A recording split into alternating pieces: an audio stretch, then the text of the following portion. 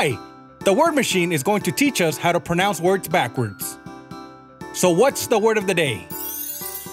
Marie. And how do you say that backwards? Yep.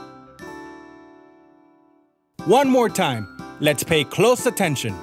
Yep. Now you try it. Great job!